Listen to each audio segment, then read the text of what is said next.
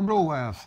Allora, mentre il mio birrificio è ancora in stand-by e mentre mi assaggio una bella Dunkelweizen gentilmente offerta da Lorenzo, che salutiamo, birra che tra l'altro non mm, non è niente male, anche se ha un paio di difettini, una schiuma un po' troppo esuberante, ci ho messo mezz'ora per farla entrare nel bicchiere, e un leggero mm, retrogusto metallico un po' che, che, resta in bocca, però eh, a parte questo comunque non è una cattiva birra. Oggi non sono qui per parlare della birra, eh, volevo parlarvi invece un po' della um, correzione del pH durante l'ammostamento. Non tanto ehm, spiegare perché va fatta la correzione, perché è importante avere un certo pH e, e queste cose qui, cose di cui abbiamo già parlato ma giusto per darvi un paio di consigli. Il primo riguarda i tempi un po' della, dell'ammostamento e della correzione del pH, perché normalmente come, eh, come si fa? Bisogna fare il mash-in, quindi mettiamo i nostri grani nell'acqua, eh, nel mash tun e eh, bisogna aspettare un 10 minuti, 15 minuti che il pH si stabilizzi poi lo misuriamo con lo strumento che preferiamo e eh, se necessario lo correggiamo con acido lattico o quello che preferiamo utilizzare. Poi bisogna rimescolare, aspettare ancora un pochino, rimisurare, vedere se eh, il valore adesso è giusto oppure eventualmente correggerlo ancora, eccetera. Tutta questa procedura capite che porta via un bel po' di tempo. E eh, qual è il problema? Che con i malti che ci sono in commercio adesso, che sono molto modificati, quindi sono molto ricchi di enzimi, c'è il rischio concreto che ora che siamo arrivati ad avere il pH giusto, l'ammostamento sia praticamente finito e quindi non ha più molto senso neanche farlo. E, eh, quindi il consiglio che, che vi do è, eh, dopo qualche cotta, più o meno lo sappiamo già qual è la quantità di acido lattico, supponiamo, da mettere. Io per esempio, eh, le cotte che faccio io, con i volumi che faccio io, una birra chiara, so che bene o male una decina di ml ce li devo mettere. Per cui non dico 10 ml, però magari 8 li metto già dall'inizio. Non aspetto dopo aver misurato e, e, e poi metterlo dopo. Li metto già nell'acqua ancora prima di mettere i, i, grani, in modo che parto già con un pH più o meno giusto, già vicino, poi magari lo misuro lo stesso, faccio una correzione fine se c'è da mettere ancora quei 2 o 3 ml, però comunque già l'ammostamento parte più o meno con i valori giusti. Questo è, eh, è il mio consiglio. Se poi volete anche avere eh, una stima del, del, pH che avrà il vostro mosto prima di correggerlo e anche magari una stima di eh, quanto acido lattico dovrete mettere per fare la correzione, lì ci possono venire in aiuto software per il computer, software per homebrewing, per esempio se come me usate Beersmith, Besmith ha proprio una funzione all'interno che ci consente eh, di vedere queste cose, di fare queste stime. Ve la faccio vedere velocemente.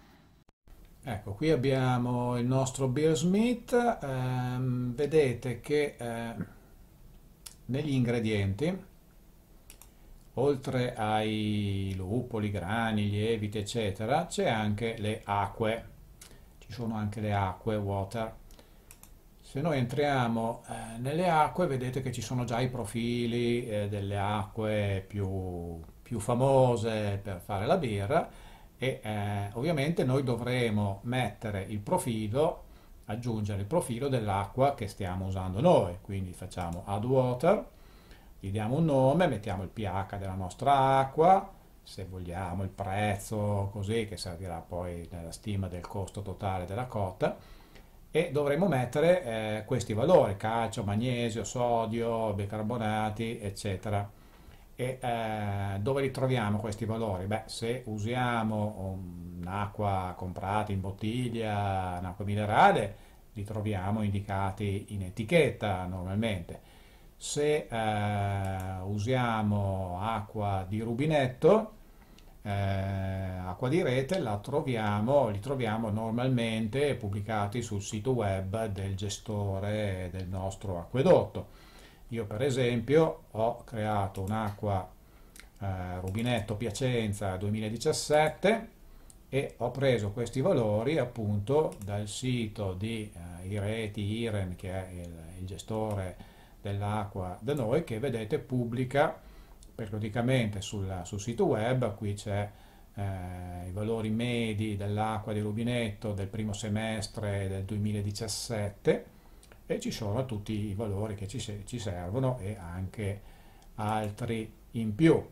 Per esempio mi dice che il pH eh, di origine è 7,5, che l'acqua purtroppo è molto molto alta in bicarbonati, infatti me lo segna con un pallino rosso mm, Beer Smith. Purtroppo il difetto della, della nostra acqua è principalmente quello, per il resto sono valori che vanno abbastanza bene e eh, una volta che abbiamo comunque il nostro profilo di acqua come lo utilizziamo? Allora se andiamo sul eh, prendiamo una ricetta qualunque ad esempio questa dry stout. Ecco nella ricetta della nostra stout normalmente possiamo se non ci interessa il discorso de dell'acqua possiamo farci la nostra ricetta solo con i malti lupolo lievito e così. Però se ehm, se noi andiamo ad aggiungere anche l'acqua allora intanto quante ne dobbiamo mettere?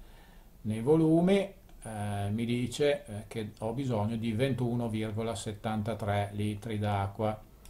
Quindi se io torno su design add water e vado a prendere il mia acqua di rombinetto di Piacenza e metto 21,73 litri d'acqua. Ok? Quindi ho aggiunto il mio ingrediente.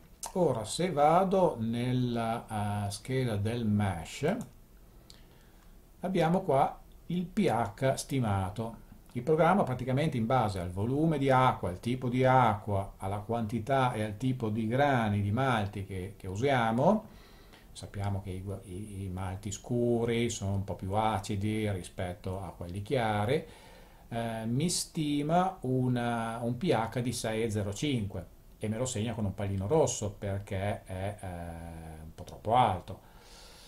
Eh, e qua di fianco mi dà anche il discorso della correzione.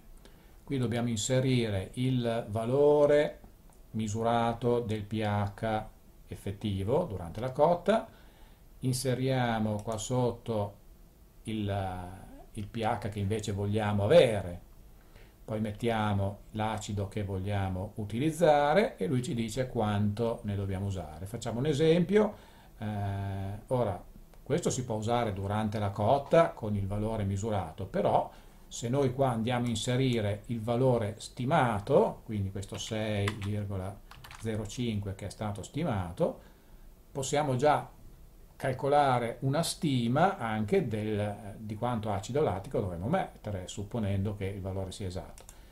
Come target io di solito punto a 5,4 più che 5,2 come acido qui si può scegliere, mettiamo il nostro acido lattico, andrebbe messa anche la percentuale di concentrazione dell'acido lì, mh, mm, bisogna vedere se è indicata sulla, sulla confezione dell'acido lattico, e qua mi dice che devo mettere praticamente 9 ml, 9 ml di acido lattico.